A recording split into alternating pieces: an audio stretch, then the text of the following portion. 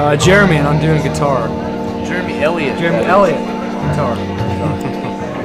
I'm Delvon Lamar or Delvon Dumas, however you want to pronounce it. I'm keyboards. I'm Kevin Chris on the drums and sex symbols.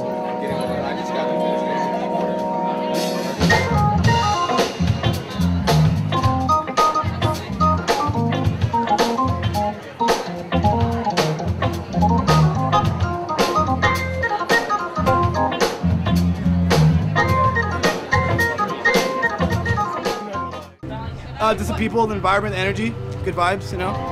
We came down here today because we heard about the concert and we've been to a couple, so we thought that we should go check it out. Um, I'm affiliated with the band. I'm a big supporter of the band. I like to help them out in whatever way possible. You know, it's a really good series. I mean, like you can, you can, as you come into town, you kind of hear, you know, the vibe. And uh, I will say that when I walked into the alley, I was walking up to the buildings, and I noticed that the um, the uh, barrier between the beer garden and the what the rest of the public, um, the rest of the public wasn't very full. The beer garden was nice and full. Beer. Beer brought me down here today. You know, I, I would say that that's probably uh, indicative of the downtown alley concert series. Good thing to do after work. People go have a beer, and listen to some good music.